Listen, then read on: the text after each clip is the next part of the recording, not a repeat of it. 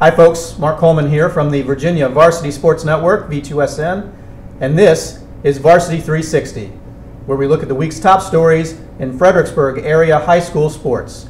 This is our February 10th, 2014 installment. Happy Valentine's Day, everyone. Very proud that you found us here at fredericksburg.com and very happy to be partnered with the good folks from the Free Lance-Star, more specifically the sports department, and even more specifically FLS Varsity. I'm one of the luckiest guys around. Each week I get a chance to chat with some of my good friends from the FLS varsity team, and this week is no different. Look who I've got here with me this week. We have from the Free Lance-Star Sports Department, Mr. Justin Rice. Justin, good to see you. Happy Valentine's Day to you, Mark. Hey, thanks, buddy. Have you got your present for your Valentine yet? Not Not yet. yet. By the time this airs, hopefully. Let's hope you do. Yeah. Last minute uh, Christmas uh, Christmas card, Valentine card uh, shopping, like we've ever done that before. Welcome, Justin. We also got uh, our a good friend Nathan Warters. Nathan, good to see you. Good to see you, Mark. I won't I won't try to embarrass you and ask you anything. Oh, about I'm, I'm done with my shopping. You're done. Look at that. Nathan, Nathan's got a critical Valentine's Day this year as well. Yeah. It's a big one. It's a big one. First as a married man, so You've been enjoying the, the Olympics. I've been following you on Twitter. Oh, He's yeah. at Nathan Warters. Uh, ice dancing, Ice something dancing. you've uh, picked Yes. up on here. Yes, I'm learning about the twizzles The and twizzles. the combinations, and uh, it's fun stuff. It really is. This uh, uh, slope style snowboarding is that what they call it? That's that's pretty Yes. incredible stuff. Yeah, it's real. It's really fun to watch. I tell you what. Yeah, yeah, enjoying that. Well, uh, let's jump into our boys basketball, starting with our top five. Coming in at number five, we have Mountain View. They've secured the number two seed in the Conference 15 tournament. Yeah, they're going to enjoy a couple days off before Friday's semifinals uh, against a, a to be determined opponent. Uh, they're going to get uh, what they, I guess, the Freedom North Stafford winner in Friday's semifinal. An exciting game last week as well, a big victory for Massaponax over Brooke Point. They'll be rematching on Tuesday, actually. So the, the day after we've actually recorded this. Yeah, exactly. And exciting games. Did you see online? Uh, Mountain View's got a great video up there of Lucas Brown hitting a three pointer at the buzzer against North Stafford on Friday. Mountain View closed out the regular season. It- fans are going crazy. It was a great video. Yeah. Great moment to watch. You know, Lucas, of course, is you know clearly one of the best players in the area, and that was, I, I think, a, a fun moment. Exciting. He's an X factor come playoff time too, because of his defense and because of his ability to just make offense happen. Uh, whether it's a three or whether it's driving inside, they, you know, I, I know they're not the team they were last year offensively, but they could be. Um, they could be a really good team down the stretch here. So look out for them. It's always a lot of fun uh, postseason basketball to see if one player can put the team on his shoulders and just or her shoulders and just ride them uh, for as far as they can go. especially when it's a point guard who plays defense like he does. Yeah. And when your point guard is as good as he is, anything goes really. Yeah. Yeah. Well, Mountain View at number five. At number four, we have Spotsylvania. Disappointing loss to Courtland this past week, 64-59. Kyle Talley for Courtland with 30 points. Uh, Spotsy kind of upset there, but uh, they're still looking pretty strong. Yeah, and, and, you know these games they're going to be able to sort of put behind them and just get into Conference 27 tournament play. They're going to be the two seed. You know, we're going to talk about Culpeper here in a minute. Uh, but Spotsy's going to be the two seed there and has a great chance to get out of Conference 27 and move on in the 3A East. Re- retaining their position at number three despite a, another upset loss this past week. Chancellor, a, uh, a disappointing 68-62 loss at the hands of King George. The Foxes, uh, shocking uh, Chancellor there. Anthony Howard, 27 points and 15 rebounds in that victory for King George. But there, uh, there again, Chancellor, another another strong team, uh, seem to be positioned well for the postseason.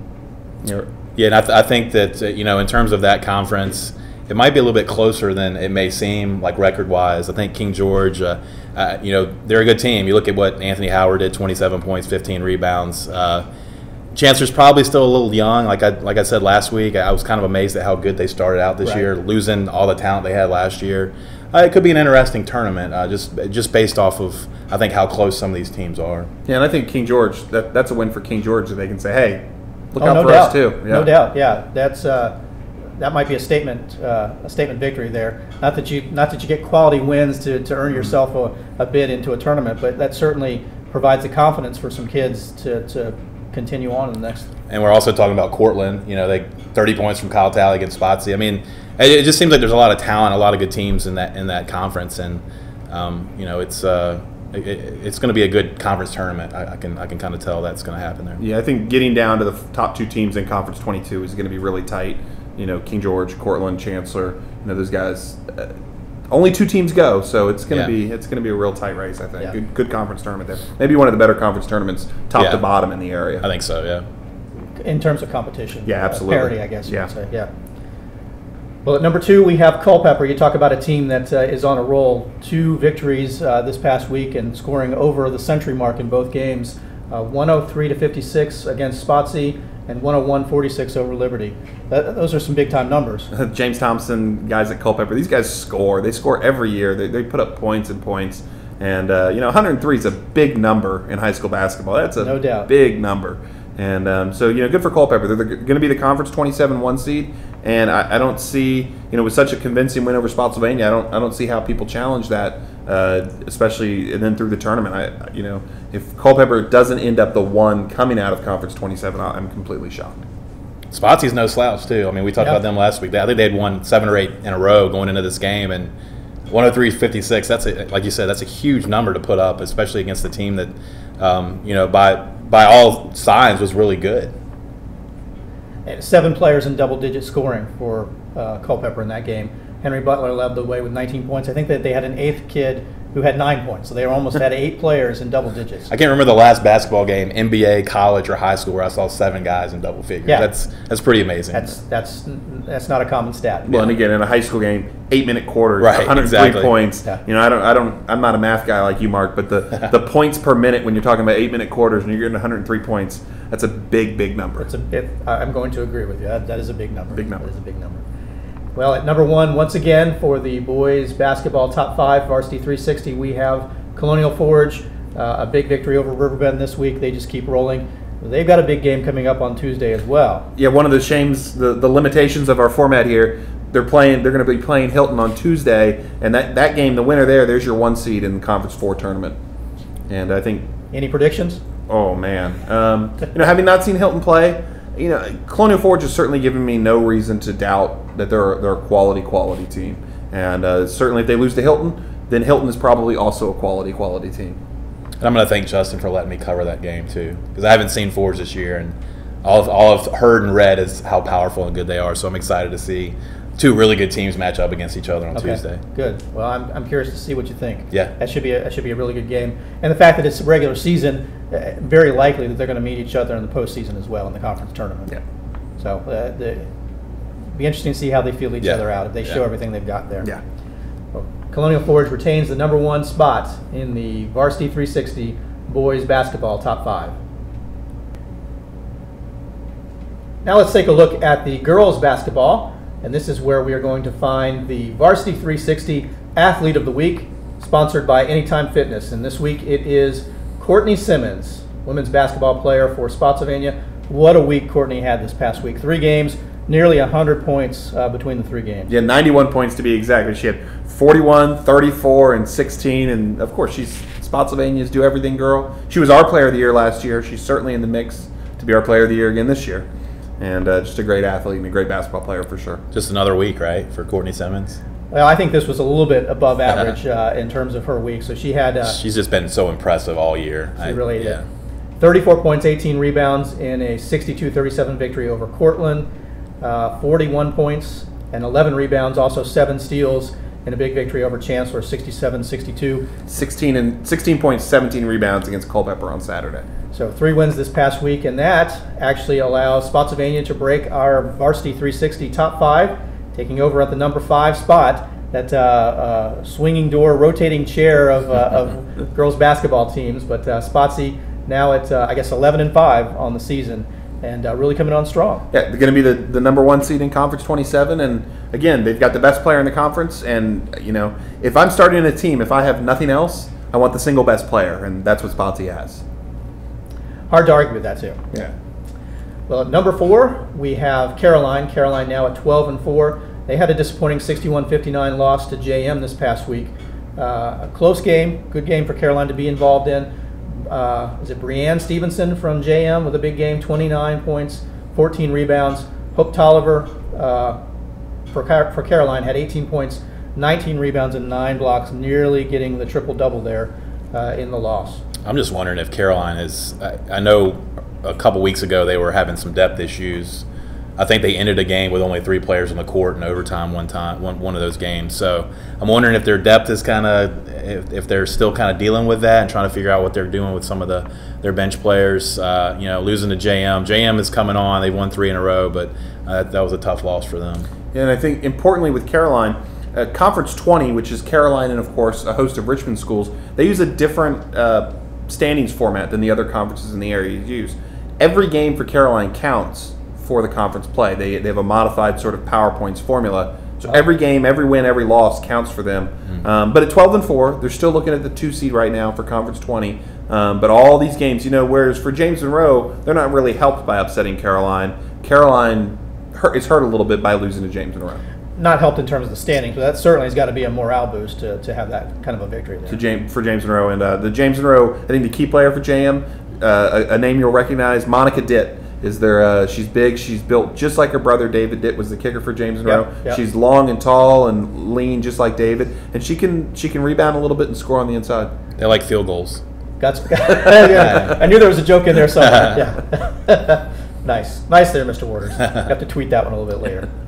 Uh, well, uh, Caroline at number four in the varsity 360 top five. At number three, we have Chancellor. Uh, Chancellor is now up to 16 and four, uh, following a 65-40 victory over King George this past week.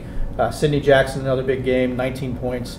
Uh, this is a team that just keeps on rolling. And we keep talking about one seeds. There's your conference 22 you one go. seed in the bag. Ch- Chancellor be one, and um, and you certainly like how they've handled the conference 22 uh, competition. And again, there's I don't think there's any reason to believe they won't be the one seed after the conference 22 tournament heading into the 4A North. You sound awfully emphatic about that. You like this team? feel pretty good about it. You know, Yeah. I, I respect results, and you, you can't really argue with what Chancellor's done uh, with with wins and losses this year, especially against Conference 22. Sure, yeah, no doubt. Well, another team that's put together some uh, impressive results, Colonial Beach. Uh, they are now up to 16 and 1 following a victory over Rappahannock Sydney Carey with 24 points in the uh, 50 to 40 victory. Um, uh, that's a fun, fun style of all, fun style of team play to observe there. And I look forward to seeing these. Like Nathan, look forward to see Colonial Forge. I look forward to see uh, my my buddy Keith Dickerson out at Colonial Beach and uh, and the Drifters Conference 43 play coming up. And uh, Colonial Beach got to be in good shape for Conference 43. Number one seed? Not wrapped Perhaps. up, but sounds pretty good. Okay.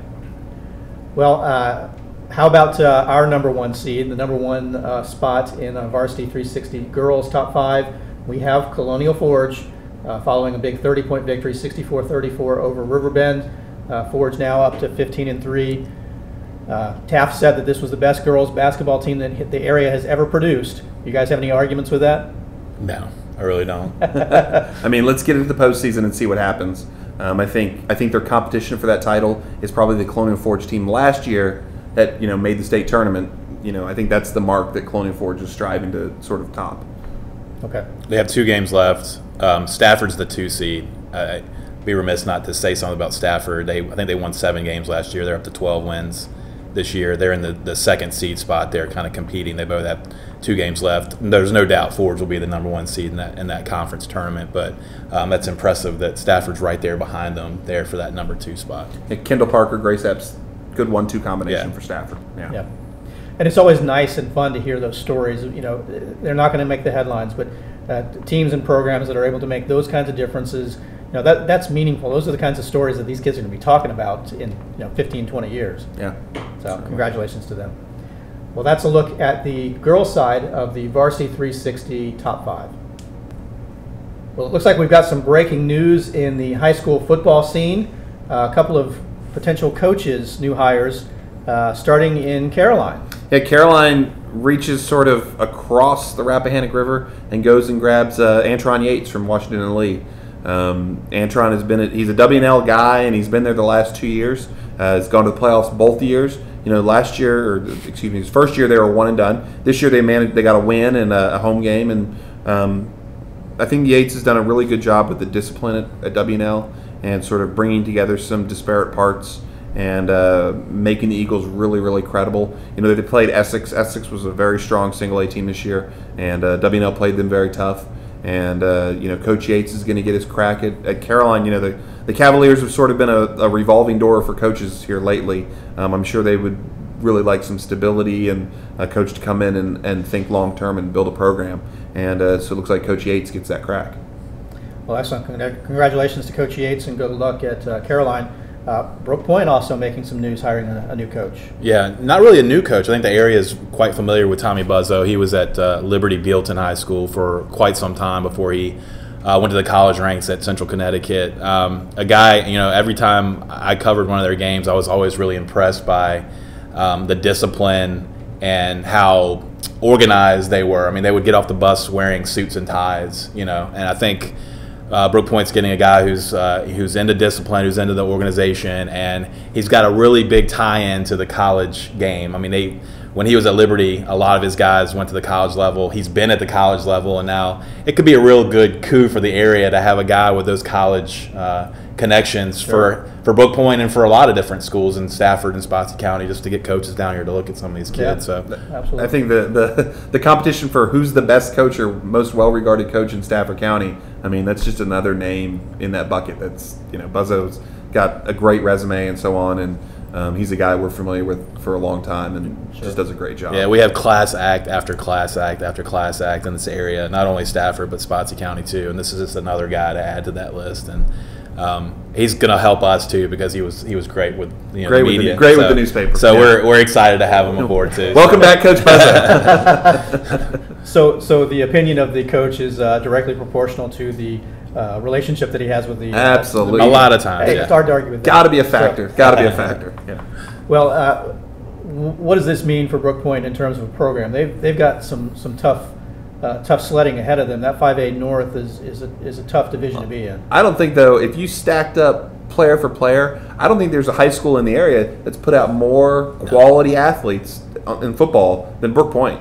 I mean, the guys that you can rattle off that have played there, you know, um, starting with Alex Figueroa and, and Lanford Collins. I mean, those guys yeah. are those are those are high quality athletes. You know, uh, Chase Barnett, of course, went to Liberty, and um, uh, El Smiling. I mean, they've, they've had a ton of guys. Brian Hudson goes to yeah. Liberty. Yeah, I mean, just a ton of athletes.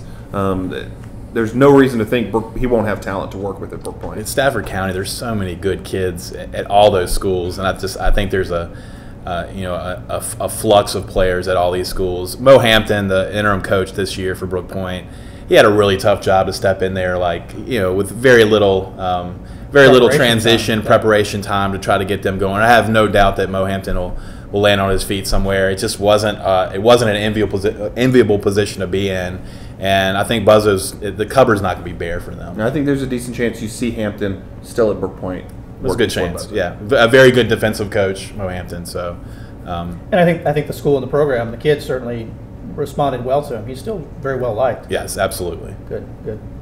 Well, it's always fun to see the fresh new talent coming up. And uh, we, we had signing day, National Signing Day this past week, uh, but it's sort of time now to turn attention to the current juniors, the rising senior class, and there's some real talent in the area uh, that's starting to get some looks from the next level. Yeah, it's always funny. Signing day comes it's all the kids that you knew where they were going to go. They sign, you get it over with, and the next day I always go and hit the phone and talk to the guys for 2015 or the next year. So I had a chance to talk to Gus uh, Gus Little at Massaponax, the linebacker, and I had a chance to talk to Gary Jennings, a quarterback for Colonial Forge. Both kids are being recruited heavily. Um, both kids, uh, you know, I think that the recruiting is going to kind of um, run the table, probably go through the summer. Um, they'll, they'll wait to get all their offers and, and all that kind of stuff, but. Uh, two very good players. Uh, Jennings has offers from ODU and UVA. I have no doubt that he's going to get quite a few more. Little has an offer from ODU, but he was at Wake Forest this weekend. He was at Pitt the weekend before. Um, Northwestern, Boston College. There's a lot of schools that are in the picture for him. And it's not just those two guys. I mean, we have you know Jay Scroggins at JM, Keyshawn Johnson, the receiver at Caroline. Um, uh, QB, the running back for Eastern View, Anton Jenkins, the running back for, for Courtland. We have so many good juniors this year that um, I expect to start seeing some of this college movement happen. Elijah uh, Burris. Elijah Burris, Elijah quarterback Burris, for Mountain View, yeah. Um, Forge has actually two other guys, uh, Javon Frazier, defensive lineman, Justin Brown, wide receiver. Bill Brown told me they're both Division One players, and he he knows his stuff. So I, I think we could have another good crop of Division One talent players uh, going into 2015. No doubt no doubt. Exciting. Hard to believe that we can talk about football already, but uh, there we are. So. Well, I'll, I'll, tell you, they're already. You know, the kids are they're meeting. Their preseason workouts oh, yeah. are on. I mean, it's it's on. It, football is essentially nonstop at this point. Well, and the kids that understand that this is potentially a ticket for them to, to at least get a college education, if not dreams of playing, you know, professionally in the future, it, it becomes a year-round uh, undertaking Yeah, for many of them. So, I'm amazed by how savvy these players are now too. I was talking to Jennings, who is close to a 4.0 student. Little, I, I don't know his grade point average, but I know he's very bright. I got him on the phone, and I was just kind of blown away by how savvy, how ready these kids are for these challenges, and it's just really cool to see these guys. They're embracing. Um, this whole process, I would be freaking out at this point. But these guys are just like, "Hey, bring it on," you know. And it's it's a lot of fun. It's a lot of fun talking to these guys and talking about their future and kind of Yeah. speculating on what they're going to do. looking forward to it. Well, uh, big news. Looking forward to the upcoming uh, football season, and congratulations to the two new coaches in the area, uh, and good luck to those programs as well as the uh, the rising seniors for this class. Well, we are into mid-February, and that means the uh, postseason for the winter sports are drawing close. We've got some postseason notes to come up here, right, Justin? Yeah, there you go. We wrestling. Wrestling, You know, uh, wrestling uh, sort of got underway this past week uh, with Colonial Forge winning the uh, Conference Four title. They had nine champions. They get all 14 kids get through to the uh, region tournament. Uh, Mountain View comes away. Real close matches, it turns out, with Brook Yeah. Point. Mountain View has seven champions, but the team race wasn't really decided until about midway through the uh, the final round. Uh, Mountain View got into their, their middleweights with Jared Swan and Russell Ramsey and Benjamin Bolin, and uh, those kids went win, win, win, win. Um, uh, JE, and uh, they sort of pulled away. Pretty close race. I think a real good showing by Brooke Point. Brooke Point should be come away real pleased. Mountain View has seven champions. They get four others that are going to move on, and then Conference 22 you know, I'll eat some crow. I, I really liked Eastern View there. I believe I wrote in last two uh, last Wednesday's paper. I liked Eastern View, but in a close race with Fauquier, uh-uh. Fauquier. comes away with that title. Yeah, Cyclone still close get, either. you know, n- not really. I think I think Fauquier certainly looks like the team, and you know, of course, this isn't like Eastern View wrestled Fauquier and now gets to avoid Fauquier. Right. You know, if Eastern View, I know that all season they've sort of thought about a team state title. You still got to go through Fauquier. Um, still, but Cyclones get five champions. They move on to move on into the uh, into the 4A East or 4A North tournament. All those tournaments this upcoming weekend on Saturday. Uh, Mountain View is going to, or excuse me, North Stafford is going to host the 5A North on uh, Friday and Saturday. Colonial Forge hosts the 6A South on Friday and Saturday, and Eastern View hosts the 4A North on uh, Friday and Saturday as well. Okay. So several teams in the area still have uh, state titles, team titles, uh, hopes, uh, and aspirations, but a, a, plethora of area wrestlers that are still alive. Yeah, sure enough. And if I was putting those teams in order of who I like to win a state title, Mountain View 1, Colonial Forge 2, Eastern View 3. Brooke Point still in the picture there, or you feel like they probably not got enough? I don't think I I don't think they got enough depth through. Yeah. Um, I think they're certainly going to have kids that get through and do well. Shane Ice is a kid I like from their team real uh, um, a lot. He, he won a real nice, maybe one of the better finals matches on Saturday over at uh, Massaponax in in uh, Conference 15, and um, their 106 pounder Joseph Knight, another kid that uh, looked really impressive at 106, uh, won a, a conference title. I like him moving on. Okay, excellent. Uh, Nathan, how about swimming? swimming. Uh, we've got some impressive performances so far in championship season. I, I've been I- I've been impressed by the teams and what they've done because uh, what I've heard from pretty much everybody is that the uncertainty with the new alignment. No one really knew what to expect in terms of who was good, which swimmers were going to do what. I mean, uh, you know, Mountain View's coach um, on on Friday told me she was just using heat times to kind of gauge, you know, who's good and who's not, and that's you know that's hard to do to go into a meet. So um, I covered 5A North region on Friday. Mountain View girls finished third. I think that was the first time that they've placed at a region meet. Um, they were really excited. North Stafford was fifth. Despite breaking five school or four school records, they finished fifth in the Wow. region. Um, But they were, you know, they were both very happy with their performances. Um, we got 6A South region coming up on Saturday in Richmond. Um, Stafford girls are coming off of a championship in Conference Four, so look look to them to look for them to do some some stuff there in that in that tournament. Um, we've got uh, 4A North. Um, King George swept Conference 22, um, so look for them to do some things there. And then James Monroe, who, um, you know, Brad Allison, Nolan Butler, they have a lot of really talented swimmers. The 3A East tournament's coming up, so look for them as well.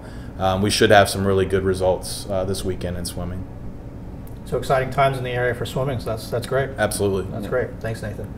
And uh, how about track? Track, you- you're in conference meet time this week. Uh, Friday was, of course, conference 15, and then you have Mountain View's girls. Uh, Michaela Morton, the senior sprinter, she won the 300, the 55, and the 500 for Mountain View. You know, that's a lot of points from uh, one girl. Yeah. And uh, then Brooke Point Bo- boys win a conference title. Junior uh, Alec Brodeur, uh, he won the 55 and the 300. You know, another sprinter type. And you know, track's one of those things when it comes to team standings. If you get one kid through that can score a lot of points in a couple different events, you can do very well uh, as a team. And uh, I think that's what you saw from those two teams. And then Conference 4 actually wrapped up today, Monday. Uh, Forest Park swept both of those. Still Colonial Forge and get some girls through Stafford. They get some kids through, and uh, we'll be moving on to the, the 6A South meet this upcoming weekend. Great, great. Well, exciting times in track as well. Uh, how about any news from gym- gymnastics? Gymnastics as well. It's, we're, we're flooded with conference and region tournaments. Um, the, Wonderful time of the year. yeah, the local teams did well in their in their respective conference tournaments. Stafford wins, of course, their conference that involved you know Stafford and of course uh, Colonial Forge as well. And Stafford ran away with the team title. Colonial Forge's Lexi Holbrook is your all around champion, and then Mountain View wins their conference conference twelve. Uh, with Emily Brutsky, freshman, leading the way, winning the all-around title. These guys both move on to region meets on Saturday. Um, I think Mountain View has a, a real tough road there. They got uh, Deep Run is a, is a quality team, and uh, Great Bridge's Courtney Adams is one of the best gymnasts in the whole state. You know, if you're going down to watch the uh, the 5A South gymnastics, you're going to see Courtney Adams from Great Bridge, fabulous gymna- gymnast, and uh, you know she, barring it would be an upset if she's not your all-around champion. Stafford goes and they go to the 6A South uh, region meet, and the um, the Virginia Beach schools are very strong. They always are. And but I think if you look at what they did in their conference tournaments, Stafford's maybe in striking distance. They've got to have a good day, and maybe need someone else to not have their best day. And maybe Stafford talks about moving on to the state tournament as a team. Excellent. You know, Brutsky, that's a name that's come up. She's won several all-around uh, meets uh, this season, and she's just a freshman. That's uh, that's a pretty exciting time. Yeah, I don't I don't like to proclaim too any, anything too early, but I wager when you see our gymnastics all area team, you'll probably see Emily Brutsky on it. I- I'm going to guess that she's probably going to be on it four times in her career. That would be my guess. Yeah, you know, you, you know, you, you don't want to get too far ahead of ourselves, but I think not. I think certainly if we're talking about this winter, I think Emily Brutsky is probably a safe choice for Free Lance-Star All area. There you go. I wanted to mention one more thing about Sure. swimming. I forgot to mention Fredericksburg Christian winning the Delaney and boys swimming, the Delaney Conference. It's the first time that they've won it. Uh, I think Seton has won it 17 straight years. So for them to win that championship, uh, kudos for, to them for, Yeah. for pulling that off. There you go. Congratulations to FT. And, and with some good That's times, I'm doing top times today. Yeah. And the Fredericksburg Christian kids are coming in and, and putting up times that are getting into our top six. We keep our, you know, we track times from the area, and they're, Right. and they're getting in there, so they're putting up legit times and uh, turning in nice results. Wonderful. Well, as always, it's been another exciting week of uh, area high school sports. Lots of good stories, lots of great uh, times and events going around. Happy Valentine's Day, Mark. Hey, thanks, buddy. You too. Happy Valentine's Day to Elise. More I get no, importantly. I get no love. No. Ah, you're all right, man. uh, we certainly enjoy being here, folks. I appreciate Nathan and, and Justin joining me here this week.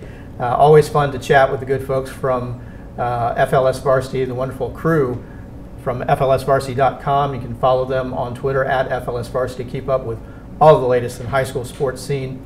Certainly hope that you check in with us here at Fredericksburg.com to pick up with Varsity 360 each and every week and uh, certainly appreciate you uh, watching in this week. For the Virginia Varsity Sports Network, I'm Mark Coleman. Thanks for watching, everyone.